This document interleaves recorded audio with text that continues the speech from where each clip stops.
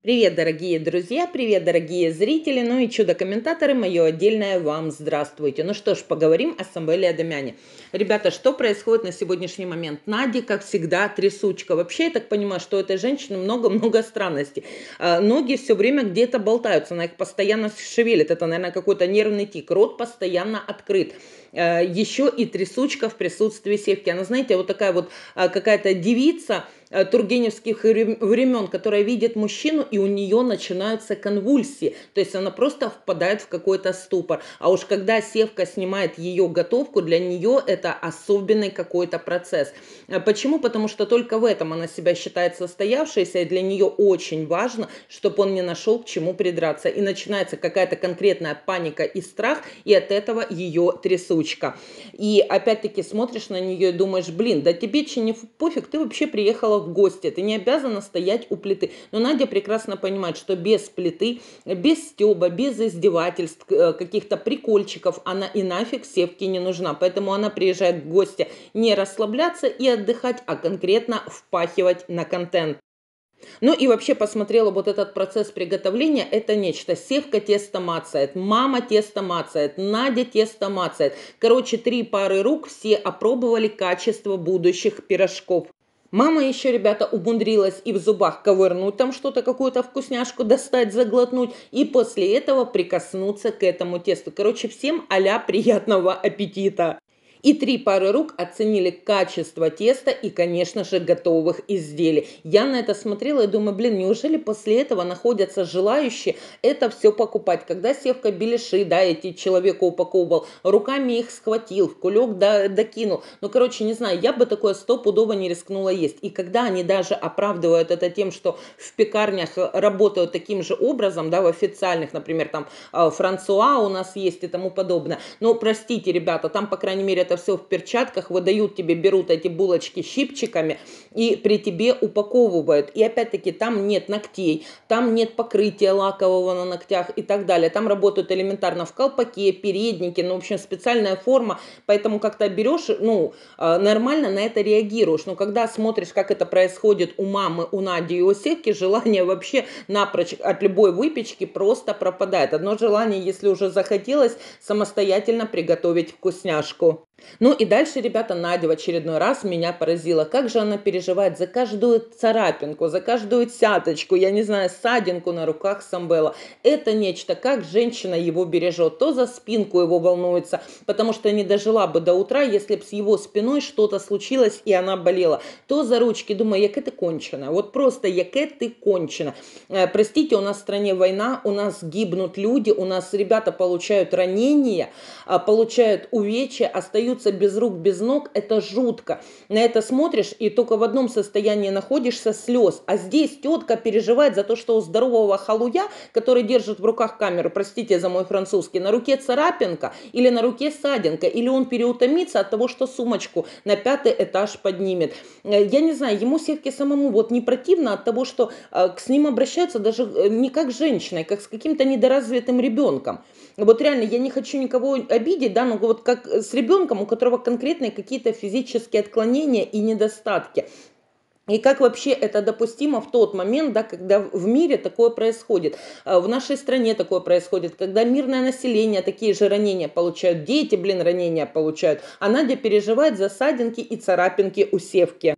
Ну и дальше Надя Севку уговаривает выпить домашнего молочка с вареничком, как он любит. На что Севка жалуется, что очень боится пить э, домашнее молоко, чтобы не сойти с ума. Севка, по-моему, сойти больше с ума, чем ты сошел. Это уже на уровне ген каких-то, наверное, передалось с молоком матери. Просто невозможно, поэтому пей его спокойно. Но Надя, конечно же, как всегда, успокоила Севку и объяснила, что берет молоко у очень хороших людей. Поэтому в качестве молока уверена. Но, скажем, скажем так, такое себе. Почему? Потому что, первое, если люди хорошие, это не говорит о том, что животное абсолютно здорово. То есть ты можешь уверять, что это качественное молоко в том случае, если ты видел, да, э, лабораторное исследование крови, что животное действительно здорово, у него есть все прививки и так далее. А второй момент насчет чистоплотности. Ну, ребята, Первое, что хочу сказать, это для тех, кто покупает домашнее молоко, обращайте внимание на тару. Почему? Потому что вот там были э, упаковочки, да, вот эти баклажки с бювейта, с под минеральной воды, то есть это вторичное использование пластика. Должна быть индивидуальная тара. Самый идеальный вариант – это стеклянная банка. Вроде бы прошлый век, но факт остается фактом, потому что банку можно термически обработать и полноценно помыть. Простите, как можно баклажку, которая была в использовании, Э, нормально, полноценно вымыть. Абсолютно никак. Второй момент. Откуда столько баклажек? Ну, возьмем минималку, пусть там корова дает 18 литров молока.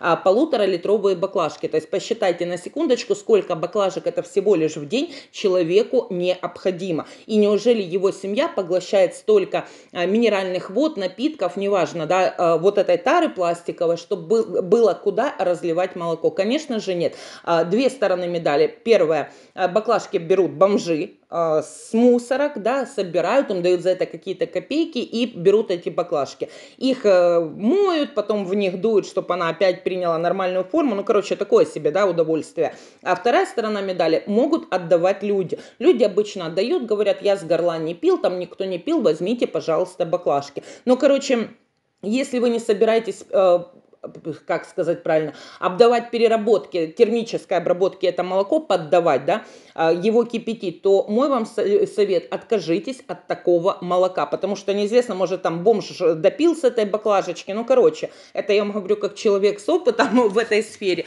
лучше брать либо действительно индивидуальную новую пластиковую тару, либо стекло. И когда Надя утверждает, что это 100% качественное молоко, могу это 100% опровергнуть, оно уже не есть качественное, потому что оно налито в непонятную, расфасов... ну, не расфасовано, да, налито в непонятную э, тару. И уже по этой бы причине я бы это молоко своей семье не взяла. Быстрее бы купила э, пакетированное магазинное, чем молоко вот такого сомнительного уже качества. Ну и дальше Севка перешел к тому, что мама, как всегда, демонстрирует интим. Мама кричит, не снимай, на что Севка сказал, причем здесь камера, это вижу я. Ну, даже если ты это увидел, да, какой-то момент, я не знаю, ну, ребята, всякое в жизни может быть. Нормальный человек сделает вид, что он этого не увидел. Но не будет на ролике ставить акценты на том, что мамка опять в неподобающем виде. Хотя нам-то, в принципе, фиолетово. Это твоя мама, и тебе жить с тем позором, который ты демонстрируешь все, что связано с ней. Ты сам ее опускаешь каждый раз ниже плинтуса и на этом зарабатываешь разом больше, разом меньше. Это уже просто ни о чем. Ну и дальше обратила внимание, ребята, какая надежда врожденная Чистюля. Ведь именно так она себя позиционирует и нам доказывает, какая она чистоплотная женщина.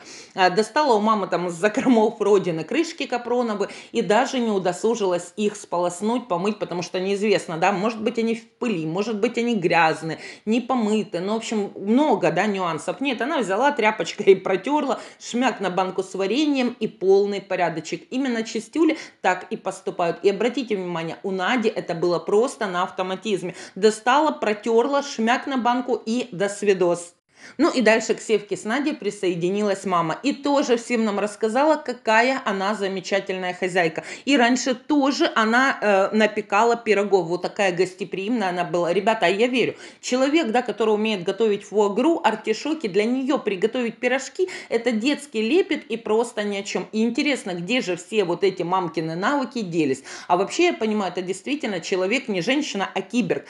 Человек талантливый, талантлив во всем, что только мама не умеет, и все ей по плечу. И совсем она готова справляться. Почему мы не застали те времена, когда мама э, наготавливала до кулинарных изысков, 9 своих или 8 салатов, еще и пирожки напекала, с мясом возилась. Ну, в общем, женщина, да, настоящая, с большой буквы «Ж». Куда же это все делось? Ну и дальше мамка пожаловалась, что прошлый раз не смогла проявить все свое гостеприимство по отношению к Наде. Чайник сгорел, и даже чаем не смогла ее напоить. Ну да, действительно, проблема века. Во-первых, можно было настоять, чтобы Севка тебе купил чайник. Лет нет, там Зину напрячь, чтобы она пулечкой сгоняла, приобрела его и притащила. Ну или третий вариант, самый элементарный, закипятить в кастрюльке водички и напоить человека чаем. Это если бы очень хотелось.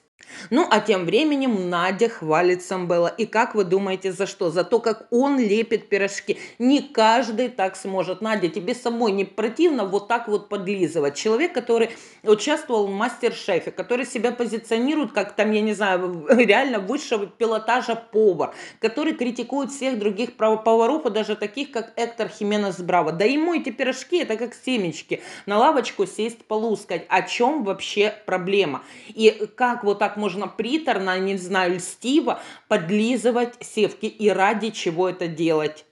Ну и дальше уже готовые пирожки с пылу с жаром. Мамка помацала, Севка помацал, Надя помацала. Всем, короче, ребята, приятного аппетита. Кушайте, не обляпайтесь. Ну и дальше пошел засер Саши Шпака. А все почему? Потому что Надя ему пишет, но Надя уходит в отрицалово и говорит, что этого она ни разу не делала. А зрители все врут и лгут. На что Севка начал высмеивать внешность Шпака, хотя интересно, чем, например, внешность Шпака отличается от внешности Коки. У э, Шпака татуаж бровей, у Коки мастер-бровист. У Шпака губки не в порядке, да, такие раздутые, и Коки делает губки дудочкой. Так вот, у меня возникает вопрос, в чем отличие между вот этими двумя экземплярами? Внешне абсолютно никаких отличий нет. Но единственное, что Коки пока тенями, э, тени не используют в макияже и губки не подкрашивают спрашивает, а так один в один. И как можно засрать шпака и при этом не тронуть собственного коки? Но даже у ТВ вызвал, э, вызвал шок, да, внешности, вызвал шок э, именно внешность Шпака. И мне интересно, мама, там вы критикуете, какой ужас, почему вы молчите за Коки? При этом вы кричите, что вы правдорубка такая вот, да, с, рубите правду матку просто с плеча, но при этом за Коки маме помалкивает. Ну и Надя, ребята, поверила, повелась, да, на то, что действительно Севка типа ревнует и его это колышет, и давай оправдываться. Ни в жизнь, никогда никогда севку она ни на кого не променяет. Правильно, севка не променяет. Надя твой крест до конца, до победного. Почему не променяет? Потому что понятно, что Шпаку Саша, она и нахрен не нужна. И никакому другому блогеру Надя тоже не нужна. Поэтому севка это твой крест, и тебе с ним идти по жизни. Ну и дальше, ребята, началась реклама маминых трусов. Трусы новые, с этикеткой. Цена, по-моему, 25 долларов или 25, или 28. Это американские трусы. Ни разу мамой не ношены. Они, она такие трусы не носит, а ходит исключительно в Севкиных. Севкиных у нее запас большой, поэтому даже вообще э, не заморачивайтесь. Это просто от мамы трусы. И мамка так и требует, чтобы Севка объявлял трусы. Мало того, они со скидкой не 28 долларов, да, больше тысячи гривен, а всего лишь за 500 мама эти труханы продает желающим. Ребята, это просто занавес. Мне очень интересно, неужели кто-то рискнет их действительно купить. Ну и Надя, ребята, пошла на конкретные риски и продает платье, которое было ей подарено Самвелом. А, продает и говорит, что это платье счастливое, оно принесет вам счастье. И мне интересно, Надя, как же ты счастливым платьем, которое приносит счастье, берешь и расстаешься? Нужно было отнести к швее, да, к портнихе, там неважно, чтобы тебе его ушили, привели в порядок и носить его дальше. Ребята, вы вообще можете представить Надя, которая перепродает Сивкин подарок? Действительно, тетка слетела с катушек отдает кому-то свое счастье. Вот это вот заговоренная, фантастически э, счастливая вещь, платье. Ну и дальше, конечно, начались разговоры по поводу питания мамы. Я вообще обратила внимание, это был шедевральный ролик, как в четыре руки кормят одну маму. Вроде бы одна маленькая старушка, одна маленькая бабулечка, которая там еды надо с гулькин нос. Нет, здесь же все на вот этом поприще кулинарном стоят и пытаются накормить маму. Ну и вроде бы накормили, но и здесь не угодили. Не угодили. Мамка жалуется, что прислуга пересолила ее салат. И есть это невозможно. И просит Надю в следующий раз быть повнимательнее. Капец, ребята, салат насыпать зелень, да, нарезать огурец – Э, кинуть там три куска авокадо и каплю оливкового масла. Мама даже это приготовить не может. Ну а с другой стороны, нафига козе баян, зачем маме там напрягаться и что-то делать, если с этой целью у нее есть Надя. Именно поэтому Надя и находится рядышком. А Надя, конечно, рада стараться показать, как она необходима ТВ и как, что многое, да, она может для нее сделать. Ну, а Севка параллельно бегает и кричит на Надьку на кухне, на мамку в комнате, кричит мамке спрячь сиську, где ты вообще взяла э, эту кофту и так далее. Ребята, если ты видишь, что у мамы, да, ну вот произошел такой конфуз, ну всякое может быть, там лифчик, я не знаю, потерял форму, ну вот всякие бывают, да, недоразумения. Какой нормальный мужчина, вообще какой нормальный человек, а уж тем более собственный ребенок, будет на камеру матери орать, спрячь свою сиську. Нажми паузу, чтобы этого никто не видел. И сделай маме, да, даже не замечание, а как-то корректно намекни и попроси переодеть э, там верхушку одежды, да, сменить свитер. И она выйдет в другом джемпере, и ты не будешь видеть никаких проблем. Но не в случае к севке. Э, севке, то есть здесь нужно было именно все внимание зрителя зрителя сосредоточить на том, что мама потеряла Сисяндру. Ну и дальше перешли к продаже костюма, просто шикарного, Зара, только его нужно простернуть. Ребята, для меня это вообще, это финиш, тушите свет. Интересно, а как они грязные тряпки продают, и как люди потом не брезгуют их покупать и носить? Ну то есть то, что это нездоровые люди, это факт. Но простите, как ты, человек, блогер, продаешь кому-то грязную вещь, кинь в стиралку, ее простернуть 30 минут, да, повесить эту вещь, высушить и отдать, продать людям, ведь ты за это берешь деньги. Но Севка прекрасно понимает, что его зрители, которые покупают не из робкого десятка, они ничем не брезгуют и будут действительно даже в восторге от того, что эта вещь ношена Севкой и плевать, что она грязная. Ну и дальше Севка, конечно, перешел к Наде, назвав ее рукожопом, что это типа повар, который ни хрена не умеет. Но другой бы человек обиделся, ему было бы больно, да, что его так унизили, оскорбили. Ну, конечно, не в случае с Надей. Она пытается доказать, что она все-таки хорошая, хорошая и профессиональный повар. Но убедить Севку в этом она, конечно, не смогла. И дальше он просто начал на нее кричать. И вот тут, думаю, Надя буквально недавно по приезду заявила, что она больше не размазня и будет давать конкретные такие вот серьезные ответки и не позволит себя больше никому засирать. Надя, интересно, ты что, об этом забыла? Или это касалось исключительно только Марины? А перед Севкой ты как овца какая-то постоянно просто блеешь. Ну и дальше Севка рассказал, что мама и Надя это две врожденные засранки, а я верю, и я с этим согласна. Ну и когда Надя пыталась объяснить Севке, что после себя нужно типа убрать рабочее место, коль ты закончил готовить, Севка ей сказал, что кто-то повар, а кто-то уборщица. Именно вот так вот он охарактеризовал Надю. Вот это четкая ее характеристика. Подобрать все, убрать, почистить именно за адамянами.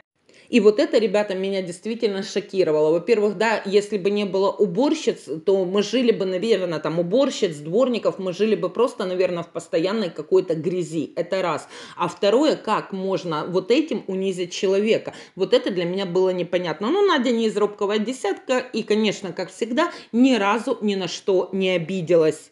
Ну и дальше, ребята, меня повергло в шок, как севки скидывают раз за разом фотоотчет, как военные в госпитале раненые ребята едят его пирожки. И он одного даже паренька продемонстрировал, только закрыл лицо. Мне хочется спросить, ты что, конченый? Ты что, я не знаю, утырок, упырок, укурок? Кто ты есть?